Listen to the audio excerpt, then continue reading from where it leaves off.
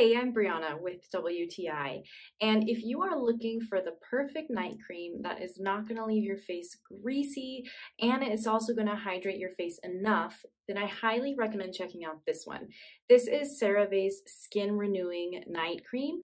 This night cream has a really nice texture. It is not too thin, but it is also not super thick like Vaseline. This just soaks right into your skin it leaves your skin really dewy, really moisturized. It doesn't feel tight at all and it doesn't feel greasy. I also will use it around my eyes and also on my neck and I am really happy with the results. I love having a dewy, glowing face when I wake up in the morning. It also helps keep my breakouts at bay and my skin is no longer flaky, no longer as red. So this stuff is great.